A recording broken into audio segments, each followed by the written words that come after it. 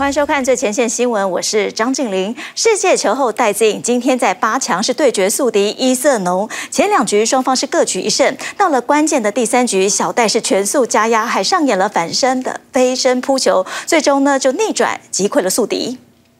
我国世界球后戴资颖八强赛对上泰国好手伊瑟农，一局落后，接着连追两局逆转胜，闯进四强赛，距离金牌只差两场胜利。一开赛双方杀了难分难舍，八比八平手后，泰国伊瑟农渐渐拉开差距，斜对角杀球加上小戴多次挂网，第一局最终由伊瑟农以二十一比十四拿下，双方进入第二局。第二局伊瑟农强攻，一开始就拉开差距，小戴一度只追到剩下一分差，但失误过多，加上对手挑战成功，来到八比十一，双方往前对峙，但最关键的是戴资颖连拿六分反超，最终以二十一比十八，小戴扳平战局。决胜局双方互有领。先速度追平，最关键的是小戴为了救球扑到地上，回击把球打进场，伊瑟农也上前扑，没救成功，气势全回到戴子颖这边，全台球迷看得热血沸腾。最终小戴以二十一比十八逆转夺胜。据了解，泰国好手伊瑟农曾登顶世界第一，是球后等级，目前排世界第六。过去跟戴子颖交手二十九次，双方对彼此相当熟悉。第三十次就是在奥运最高殿堂对决，小戴在落后反超逆转胜晋级。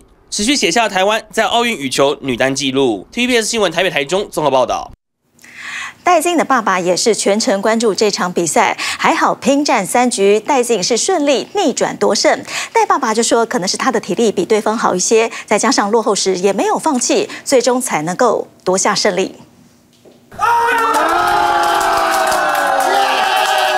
戴资颖拿下第三局，冬奥羽球女单顺利晋级四强。带爸爸振臂高呼，因为过程实在太过惊险。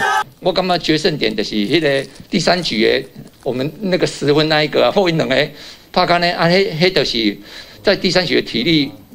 阿哥姐气势诶，互相诶嚣张。除了第三局，两人一度你来我往，最后让对手累趴躺在地上得分。第二局下半场之后，从落后最后拿下胜利，战成一比一，也是重要关键。第二局啊，我都改逆转。你在体能上，安科林嘿呀，安卡卡卡有优势的。由于戴资颖跟泰国的伊瑟农都是擅长假动作，两人球风类似，之前国际赛双方更是互有领先，因此除了戴资颖家人认为这场八强赛谁能减少失误，并且有正常发挥，谁就可能拿下胜利。何护教练也提醒他，必须要放空以往的对战记录。在小戴最后，呃，整个一个拉掉，以及结合他这个突起往前变化。让医生后续的整个这个体能下降非常的快。韩国羽球教练给戴资颖打了九十五分，认为他抗压力够，最后顺利回稳，总算恢复实力。而接下来的四强赛，小戴将对上印度选手新度。只是如今解决了宿敌伊瑟农，戴资颖爸爸对于夺牌希望内心也更加笃定。我感觉逃过了心，不是，唔得，嘛是比了，该知影啦，比了就知影。TVBS 新闻综合报道。今天的赛事，相信让不少观众觉得真的是看了充满高血压。因为先有戴资颖，再来林洋配，现在就是小林同学了。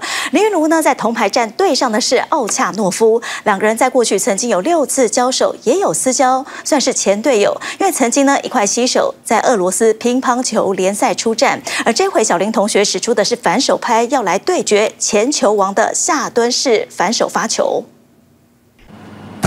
这是今年三月林育如在世界桌球职业大联盟挑战赛对上德国奥恰洛夫的画面。不愧是前世界球王，尽管奥恰洛夫已经三十一岁，但发球变化多端，再结合正反手，稳稳取得优势。对手暂时领先，但十九岁的小林同学沉稳不急躁，慢慢追回比分。这球让对手打出界，不过老将真的不好惹。在当时，林昀儒世界排名第六，赢过奥恰洛夫第八名。但其实两个人私交不错，因为在俄罗斯乒乓球联赛就是同队队友。桌球男单对战累积五度交手，林昀儒拿下四场，占上风。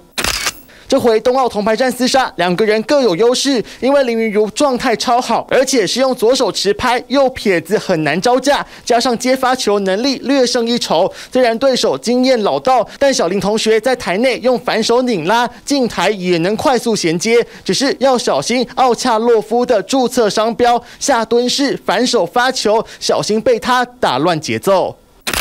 冬奥四强赛，德国奥恰洛夫对上中国大陆马龙，跟小林同学一样，七局打好打满。虽然最后落败，但奥恰洛夫在两千零八年北京奥运桌球男单拿银牌，又在二零一二年伦敦奥运铜牌战中断桌球教父庄智渊的夺牌梦，让台湾最佳成绩止步四强。这回林云如有必胜决心，碰上亦敌亦友的前世界球王。不过这硬仗，德国总教练坦言可能很难打。虽然奥恰洛夫发推特说要重新整顿迎战铜牌，但小林同学绝对不得惊。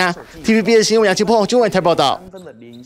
小林同学被称为是神话王，私底下的个性也非常的腼腆。搭档郑怡静就说，他们也是直到一次输球之后才打开了话匣子，而且要是不知道聊什么，那么聊车子就对了。裴丽宇也说，她非常喜欢英国品牌的千万跑车，对款式跟车型都很有研究。开始跟云茹搭配的时候比较害羞吧，他也是一个比较内向的小朋友。搭档郑怡静回想刚遇到林云茹，私底下话非常少，直到有次球赛输了，郑怡静默默离开，林云茹才主动找他聊天。后来就来问我说，呃，怎么了？然后我们才在房间里聊了一两个小时，心里话说出来。从那个之后，就是变得说可以你一句我一句的这样沟通。比赛嘛，就是专心备战，也只能在训练中心里面上网看一些衣服吧。郑怡静后来发现林云如喜欢玩手游、听音乐，如果聊到没话讲，聊车就对了。观察林云如 IG 追踪人数九点六万，但自己追踪的人仅五十六位，其中大多数都是各国进口车的 IG。过去陪练员也说过他对车的喜好程度。就是他如果喜欢，就比如说车子，那他也会很努力的研究。林云竹曾说，梦想车就是英国品牌跑车，车身线条简洁典雅，零到一百公里只要三点九秒，售价破千万。平时对车型款式研究的相当透彻，每个车子的型号啊、款式啊，甚至售价都可以很很明确这样。国小教练也回想林云竹童年练球十分勤奋，有时候累到快撑不下去，两人会去做这件事。有跟我讲说他真的练不太下去了，认真练的话，那我们再坚持一下下。那练完教练带去钓个虾放松。国小教练夸赞林云如总是会把球练好，才会去做想做的事。林云如努力练球之余，私底下也透过各种不同兴趣，好让自己舒压。TVB 的新闻，陈文宏、李玉涵台北报道。有满满天赋的林云如，甚至是在国小就被公股银行球队给签下，成为半个银行员。在球员时期呢，能够享有行员的福利，年终也能够有运动员的特别奖金。就算是退役之后，也能够转为教练、顾问，甚至想在银行部门工作也没有问题。国小时期的林云如打起球来已有大将之风，同年龄的根本不是他对手。逮到机会就是不留情，扣杀下去。围观群众的惊呼声中，其实还有球探跟教练暗中观察物色选手。二零一三年韩国东亚少年桌球赛，林云如获得亚军。当时的他其实已经是半个银行员，公股银行相中他的潜力，国小的时候就把他签下来当做预备球员，提供营养金补助。等到十八岁，表现越来越稳定，也正式升格为五职等行员，月薪已经有三万五千元左右。他享有正式航员的薪资、年终奖金、红利、航员福利，还有这个球员的营养金。跟呃优异成绩的特别奖特别奖金，航员该有的福利他都有，运动员的奖金更是少不了。这也让林云如的家人能安心放他追求梦想。至于运动员最害怕的受伤或是过了生涯巅峰，这部分当然也有保障。运动生涯退役以后，我们球员也可以转任教练，啊，或者是顾问职，啊，或者是呃银行的这个行员。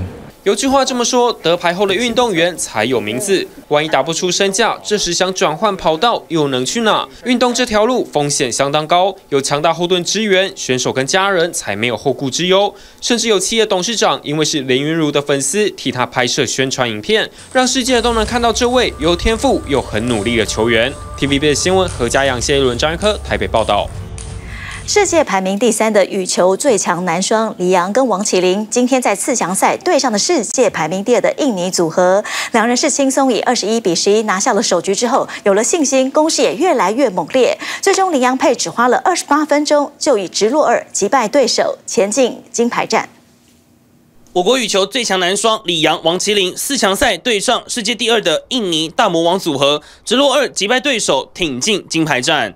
第一局，林洋配势如破竹，强攻十一比八。对手回击又出界，林洋配来到七分领先，甚至拉开到十分差距，最终以二十一比十一抢下第一局。第二局，林洋配乘胜追击，虽然曾经失误让对手追平，王麒麟多次杀球，印尼回球不及，李阳飞扑救球，速度加快，冲到十七比十，最终乘着气势，林洋配以二十一比十胜出，打进金牌战。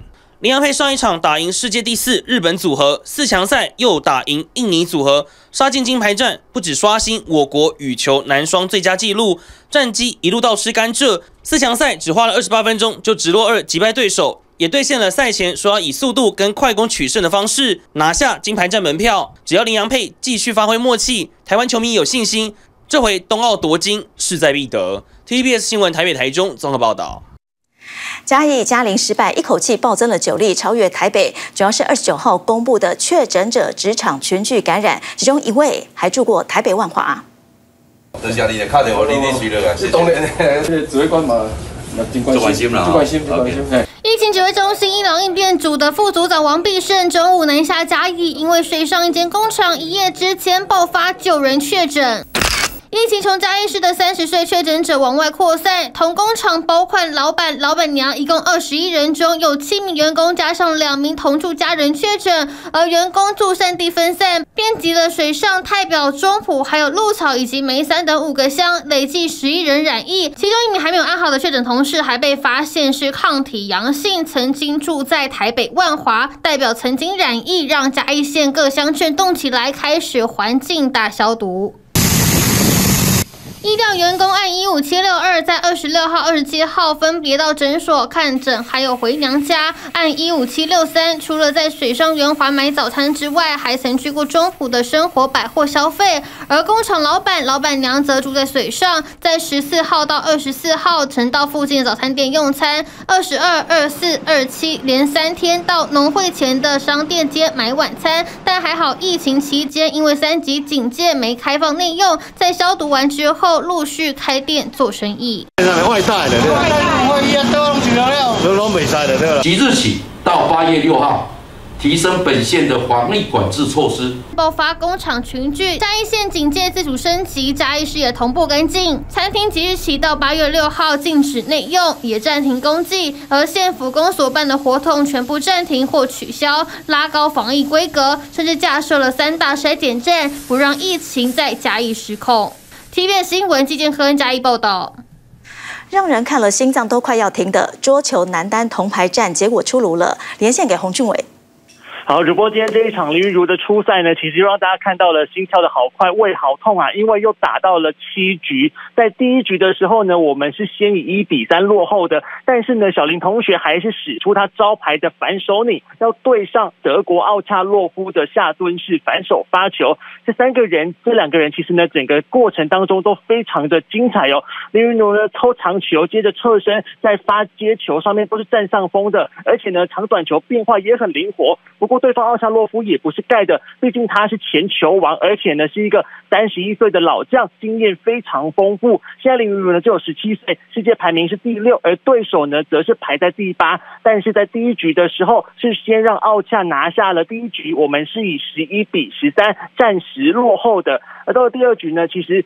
对手奥夏洛夫要判断小林同学的球路，其实也很不容易哦。这两个人呢是一路战到了七比七平手。接下来呢，林云儒打开来了，出现连续得分机会，也把比数拉到了九比七。不过对手要防守我们林云儒的拧球，算到他侧侧身攻击的线路哦。因此呢，在这个第二局的时候呢，我们是率先逼出了局点，来到十比八。而最后呢，对手失误擦网，让他抢下了第二局。林云如是以十一比九拿下，现在是。一比一哦，而第三局的时候呢，我们在一开局也拿下两分，取得优势。不过呢，在这个发长球的策略呢，林如是比较有效的，可以破坏对方的接发哦。不过最后呢，想要去拼球的时候，奥恰想要偷长球，但最后是被小林同学给抓到了。因此呢，第三局我们还是先拿下，以十一比六领先。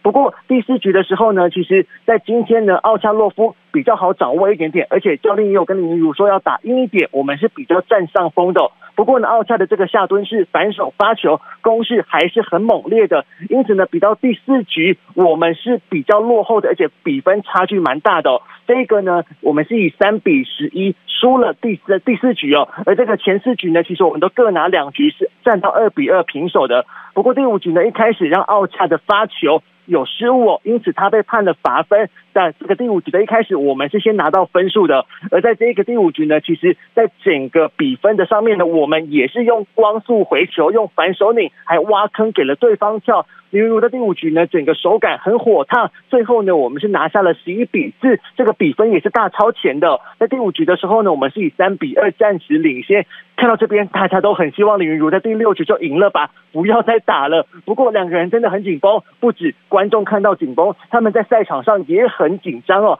在第六局的时候非常关键，不过呢，一次又一次的 deuce，大家一直打，一直打，一直打，打到了最后呢，李云茹本来是先有三个赛末点的，但最后都被对方化解了。我们在第六局的时候呢，是以十三比十五落后给。呃，奥恰洛夫进到了第七局，那到了第七局呢，其实在整个奥恰拿到了第一分之后，对方的气势有点压迫到林云如了，因为两个人就陷入了苦战，铜牌战要打到第七局真的很累。不过呢，我们一开始两个发球都没有守住，被对方打到三比五落后。不过中后段的时候呢，其实奥恰的这个得分是一个接着一个得的，我们来到了三比九，压力真的好大。这个场上的教练也跟林云说了，要避免失误。不过，其实这些压力的比分的影响呢，还是会对心态上面有不少的一个压力哦。但是呢，小林同学其实没放弃，还是继续追，从五比九拼到六比九，再拼到七比九。本来以为整个比分可以慢慢拉接近了，但最后呢，还是很可惜，以七比十一给落败了。在七局里面呢，我们是以三比四落败了。虽然呢，这一次小林同学没有办法能够再拿下第二面铜牌，不过他先前在混双的时候呢，已经拿下了一面铜牌了。这一次能够对上了这一些都是球王等级的。十九岁的林如呢，在这一次东京奥运的赛场上，也是让全世界的这个桌球坛都留下了一个很深刻的印象。大家都在看他的球路、跟他的球风，还有这个小子到底是怎么养成的，怎么会这么厉害？未来在所有的国际赛事跟未来的奥运上，想必林云如会是大家的重点对手。直播。真的虽然很可惜无缘铜牌，但相信小林同学的亮眼表现已经让整个国际都看见了。好，带来关注的是高雄，因为特殊交友圈已经连续三天都有新增个案，累计四人染疫。指标个案还被发现，在七月初曾经到台北参加过聚会。连锁素食店内灯亮着，外头仔细消毒过一遍，还有多家超商和药局，就是因为高雄又新增一例确诊，揪出感染源可能来自北部。高雄的呃个案到这个台北的聚会啊，那到今天。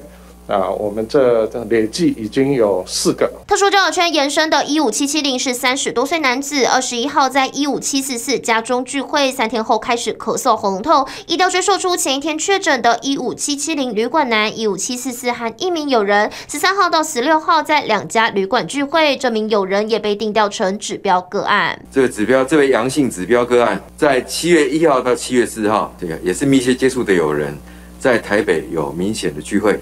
那这样的聚会，我们姑且称之为这一群人叫做 X Man。男性特殊交友圈，高手师傅命名为 X Man，具体有多少人还在掌握。但指标个案七月二十九号筛检 PCR 阴性，且清抗体却是阳性，研判可能没有传染力。只是他七月一号到七月四号到台北参加 X Man 聚会，回高雄后还到处爬爬灶，喊朋友到多家饭店，造成四人染疫。他的活动力相当相对的强，呃，我们讲个人防护的一个状况在。状况并不是相当的落实性。被传染的一五七七零个人防护没有很落实，是否选择公布足迹，也怕特殊交友圈扩大。市长陈其迈下令针对旅宿业和汽车旅馆彻查，要是业者不管客人办 party，最严重可能断水断电。警方也针对非必要聚会加强稽查。您大家吗？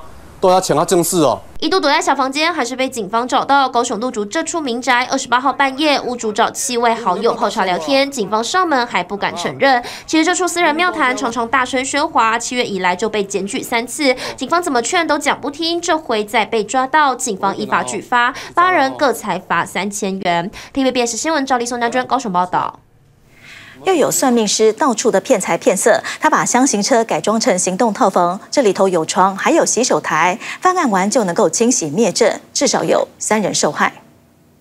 戴着黄色安全帽，双手上铐，模样狼狈，谁也想不到他就是这回涉嫌性侵的六十五岁黄姓算命师。等于是几乎配备他都是都都在上面的。都他摆摊的器具、椅子。警方调查，黄姓男子改装箱型车，开到哪算命算到哪，挑选新北的观光景点摆摊，以一次两百元的低价，号称看手相面相还能治百病。有信众上当，直接带进车内做法。前面犯案的地方就是在他的箱型车上，里面呢除了有床之外，甚至是还有小型的洗手台，甚至是自己牵的管线，可以在犯案之后立刻清洗灭证。进一步调查发现，受害者至少三名，其中一人从一百零五年开始还是名高中生，被学姐推荐找黄姓算命师消灾解厄，却是噩梦开始。除了付出约六万的费用，甚至被性侵上百次，口中的学姐还会在一旁帮腔，要他配合做法，直到他向大学辅导老师提起案件，因此曝光。他也会逼这些已经受害的这些被害女子，然后让他们就是恐吓他们，就是说。替他，呃，甚至替他找寻一些被害的其他的被害对象。只是这名学姐也自称是受害者，她供称多年下来也给了三十万，甚至还遭算命师恐吓，如果不配合找新对象，将要公开不雅影像。常在脸书抛出个人照片，到处游玩，还会像这样子拿着神机妙断的布条骗财骗色。这位嫌犯可曾算过自己也有遭收押进监的一天，欺负被害人的下场，从这刻起得好好赎罪。TVB 新闻采访新吴新燕新北市报道。有诈骗集团专门在脸书社团寻找想要买精品包的消费者，谎称有现货，还会附上购买证明，让被害人降低戒心汇款，而钱一拿到就消失。外形小巧精致，一手就能掌握。这款 LV 化妆箱上市后，在官网或实体店都缺货，原价两万七千元，网络上有卖家喊出两万三就买得到。消费者汇款后才知道，一切拢是假。因为他那时候就跟我说他在微风买的，然后其实他跟市价差大概两三千块吧，对，所以我就觉得应该不会是骗人的。因为警察有跟我说，这个账户已经就是有被人家报案过了。嫌犯锁定想买精品包的消费者，在各大社团私讯买家，自称有现货，还会传各种角度的商品实拍照取信被害人，收了钱后就失联。目前已知北中南都有消费者受害。他有说寄出的时候会给我那个发票，因为他的照片全部细图都有拍出来，我我觉得那不是假的，就是用其他账号去私密他的时候，他也是有在卖东西。另一名买家则是看中这款 Gucci 相机包，二手价一万五，初次购买精品包就被骗。诈骗集团事先调查市场上哪些包款抢手，再到各大购物社团寻找目标。是因为很难买，很难买，然后你看到有哇，然后又觉得很快，越快形成的东西就越危险。它的标就是看起来很单薄。一般人光从照片难以判断真假，但达人一看 logo 就知道可能是假货。花大钱买名牌包，最好还是在实体通路购买，业者会开立保证单，消费者和店家各留一份，日后有纠纷不怕球场无门。疫情期间，大家避免外出，网络购物更要小心，避免成为诈骗集团眼中的肥羊。TV 的新闻成员简玉喜新北市报道。这回冬奥，经常听到有我国的选手受伤，但靠着随队的医护人员使用一种镭射针灸，就能够缓解肌肉酸痛。这个镭射仪的话，它没有刺激性。镭射仪器靠在患者脚踝处发射红色光束，让人看到有点怕怕的。不过医师说，镭射光正在以电磁波累积能量，刺激穴位跟关节，其实不会痛，也是这一次台湾奥运选手们的辅助神器。我平常随队的时候习惯会携带的仪器，它就是便利性比较好，然后也有非常多频率可以选择。的一个低能量镭射仪器。高雄长庚医师随行冬奥跨海分享治疗秘器。这次冬奥柔道夺下银牌的杨永伟，比赛前后靠着镭射针灸缓解，尤其是手臂关节处肌肉最常拉伤。在随队期间，可以选用比较简便的镭射仪器，在场馆、医务室。处理选手过度使用或是急性损伤的肌腱炎、拉伤等状况。女子跆拳道选手罗嘉玲也曾利用同样的镭射棒消除酸痛。羽毛球运动员李阳也靠着镭射针灸缓解肌肉紧绷。有别于传统针灸要忍受穿刺皮肤，透过镭射仪器保养运动员的关节肌。脚会感觉到像一些酸麻或是比较偏胀感，然后比较紧绷的肌肉会有点开始感觉到放松。对，不过它的进程是相对比较缓慢的。针灸在竞争会有一个明显的破皮，就是竞争破皮的感觉。对，它这个就不会有。镭射针灸除了缓解肌肉酸痛，也能预防性的抗发炎或增进血液循环，所以也是台湾各项运动选手们训练期间不可缺少的一环。TVBS 新闻徐继红高雄报道。